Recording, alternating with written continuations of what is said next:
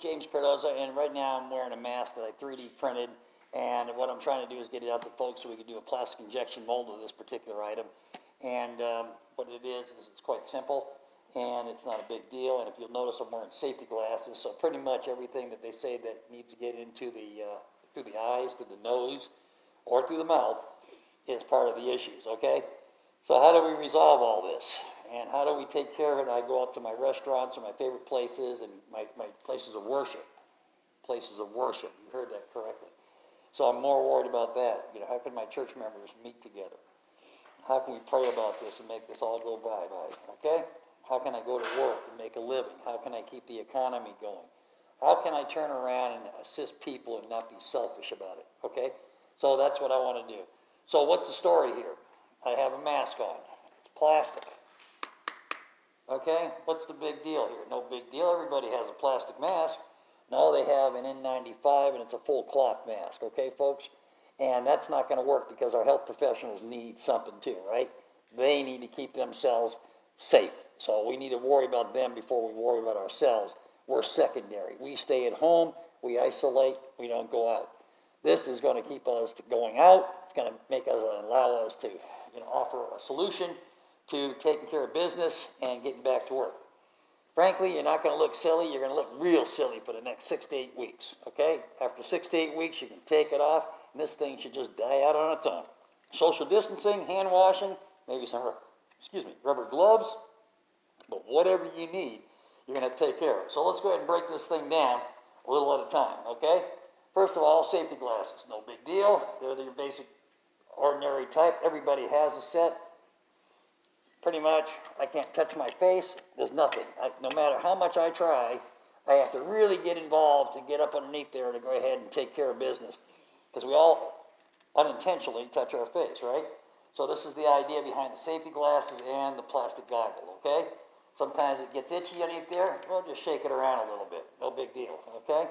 So now, all of a sudden I have a mask on. You're saying, hey, you can't go out to, uh, you can't go out to dinner. Oh, yes, I can because I'm just going to turn around and take this handy dandy right here. Okay, and I'm going to open it up. I'm going to put this on a clean napkin down on the clean napkin. I'm going to lay a napkin on top of it. I'm going to lay it off to the side. I'm going to turn around.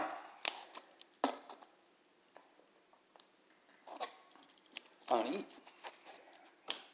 I'm going to do whatever I need to do with my mouth, so to speak, and uh, take care of business and maybe give myself a good fresh air when I feel safe or nobody's around, okay? And then I'm going to turn around and carefully, carefully, watch how I do it carefully after I wash my hands, put this back in, snaps back into place. I've got myself an N95 fixture mask. Now I took this off an N95 mask, okay folks? An N95 mask, I took it off, all right? And I also took this off my old boots, okay? You'll notice that it has a little bit of play in there. Now it goes behind the ears, and I might have to end up putting some uh, cotton or something in the back there to kind of take care of business. But it fits pretty good. And uh, what I'm trying to do is get folks to go ahead and uh, make this mold, okay? This is a plastic injection mold, all right? Let's take it off and take a real close look at it. This is the big, this is the key to it all, okay, folks? This is the key. And the key is this. I think we can see it pretty good. Yes, we can. Okay, there's two pieces to this. Right here is a piece of N95 mask that I just poured up. It was, it was a ruined mask. It didn't have anything. I actually washed it. I actually put it in the, uh, underneath the soap and water, and it fell apart. And I noticed there was one part that, for the front part.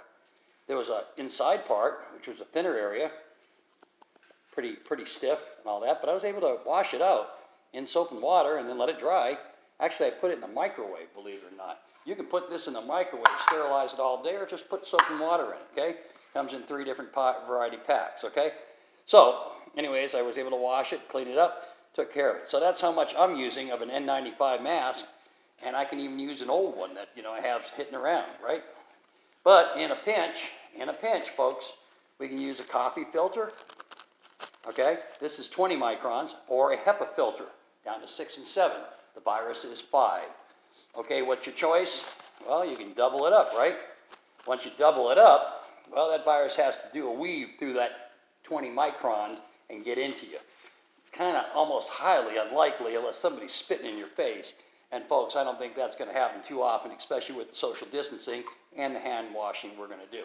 All right, so the big thing is this is what it's all about, okay? This is what we need right here.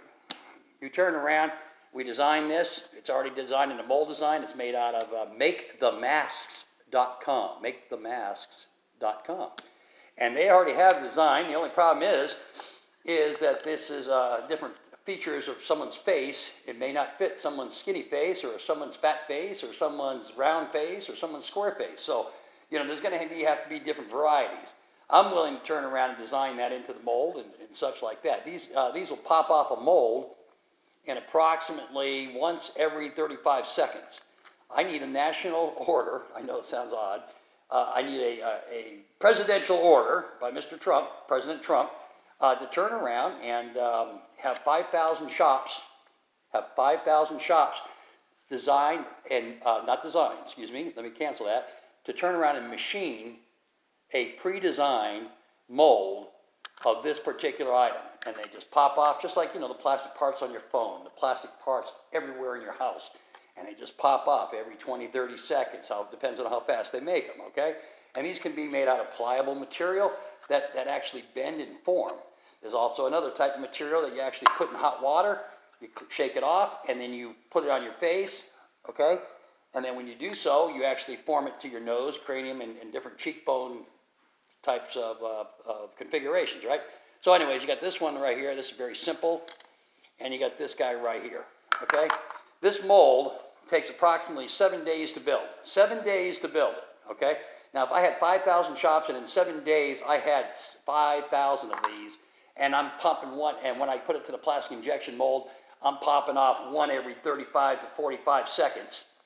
You do the math, but that's 220 million in eight weeks. Okay? But in the first week, I'm opening New York City. In the second week, New Jersey. Well, we don't have to do all those liberal cities. Let's, get, let's throw a Republican city in there. Let's, uh, how about Weeki Wachee, Florida? well, we try different all sorts of opportunities. The big thing is, folks, is that we're trying to establish a safe way to go back to church, go back to school, go back to work, okay? Go to your restaurants, you may go into a movie theater, it's not going to be comfortable. But every time it starts being uncomfortable, I want you to think of the folks that are really uncomfortable because they just lost their job, or the folks that are burying their loved ones because this virus has taken over. So I want you to think about that. I want you to think about how God is playing a part in this whole role, okay? Now it says the wise man in Proverbs, the wise man takes cover in times of danger, whilst the simple minded goes out and faces the consequences. Folks, let's not be the simple minded. This is times of cover, and this is the cover. Okay? Again, I'm trying to share this video. It's a very simple solution. That with your glasses, that with your rubber gloves. And folks, I believe that we could actually solve this problem within a week or two, and we could be opening up our country, and we can get back to church and go back to where we need to be, and maybe just start to redefine who we are as a country, uh, one nation under God.